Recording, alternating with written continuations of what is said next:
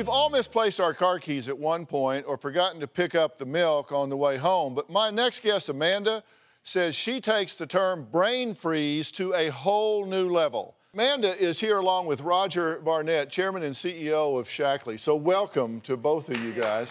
And um, now you're like really forgetful, right? Um, yes. Yeah, and you're forgetting the questions our field producers are asking you mm-hmm. while they're interviewing. yes. What, what's up? Why do you think that's true? I, I, I don't, I don't know. I think I think too far ahead, or I, I, I have no idea. That's why I'm here. Well, I was hoping you were going to tell me because my memory has just gone to hell. I just, I can't. I'm. I, it's terrible. I can't. What's your name? Yeah. No, I'm just kidding. I'm just kidding. That's why they have my name written all over the place so I can remember who I am.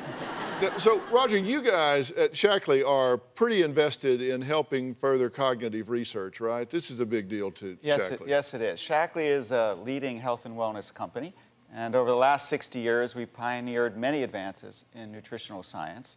Our products have powered over 120 gold, silver, and bronze medals, and even the NASA program uses Shaklee products to fuel astronauts into space. But lately, we've been focusing on brain health, and we have an MIT trained neuroscientist over the last several years who's been researching whether natural products can help so that we can bring that research to consumers. Okay, as we all know, the brain is the body's control center, and it controls your ability to think, talk, feel, see, hear, remember, and much more. And Amanda, have you tried anything to help improve your memory? Have you have you done anything to try and help? Sticky notes. Yeah. That's my You put prompts yes. everywhere. And we have a huge calendar, like huge, like huge calendar. yeah, does that help? I sometimes I forget to look at it, and then I forget that, that I wrote it on there. Look, the brain is an organ, and it generates muscle activity, uh, and it needs to be used to stay efficient, you know, like use it or lose it, as we always say.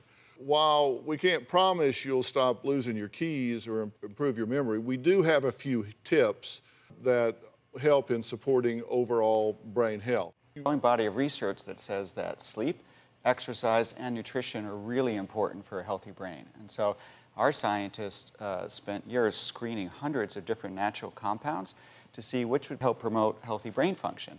But this is all evolving science, and uh, the clinical research stage is really at its early stages about focusing on brain health.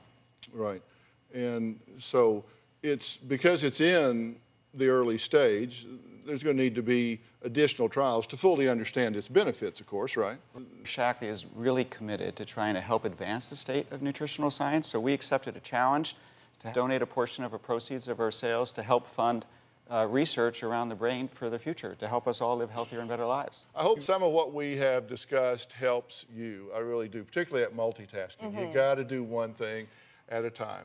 Anyway, I'd like to thank all of my guests today, especially Roger Barnett. For more information on today's show and to learn more about Shaklee, you can visit drphil.com. We'll see you next time.